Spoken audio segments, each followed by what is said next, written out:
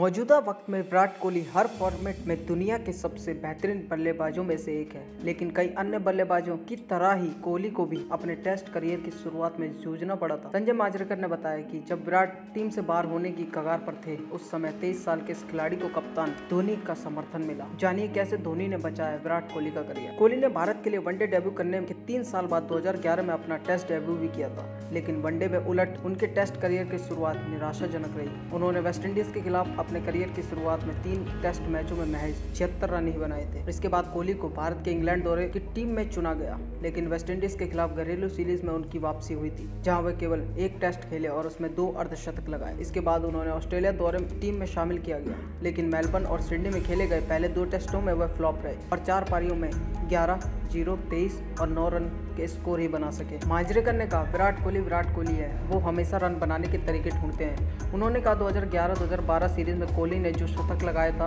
भारत उसे ज़ीरो चार से हार गया था। उससे पहले वह इंग्लैंड में भी ज़ीरो चार से हारे थे। और मुझे लगता है कि यह सीरीज़ में किसी भारतीय द्वारा बनाया गया एकमात्र शतक था। वो उस समय एक युवा खिलाड़ी थे, जो वास्तव में शिंडी के बाद बाहर होने की कगार पर थे। धोनी ने उनका समर्थन किया था। फिर वो पार्थ टेस्ट में खेले और सत्तर रन बनाए और फिर उन्होंने वहाँ शतक भी चढ़ा। वही कोहली ने इसके बाद पर्थ में खेले गए तीसरे टेस्ट में चौवालीस और पिछहत्तर के स्कोर बनाए और एडिलेड में खेले गए चौथे और अंतिम टेस्ट में अपना पहला टेस्ट शतक जड़ा। हालाँकि भारत ये सीरीज़ ज़ीरो चार से हार गया, लेकिन कोहली का शतक भारतीय टीम के लिए बड़ा सकारात्मक रहा। यह इस सीरीज़ में भारत के बल्लेबाजों द्वारा बनाया गया एकमात्र शतक था। वहीं इसके बाद ही कोहली का एडिलेट से लगाव बढ़ता गया। 2004 में धोनी की अनुपस्थिति में टीम कप्तानी करते हुए कोहली ने दो शतक शतक लगाए थे। हालाँकि भारत सीरीज़ दो ज़ीरो से हार गया था, लेकिन कोहली ने चार शतक सहित उस सीरीज़ में छह सौ बानबे रन बनाते हुए तहलका मचा दिया। इस बार Border Gavaskar Trophy pink ball Test के साथ शुरू हो रही है। भारत को उम्मीद होगी कि कोहली अपने पसंदीदा मैदान एडलेट के साथ अपने लगाव और मज़बूत करते हुए फिर से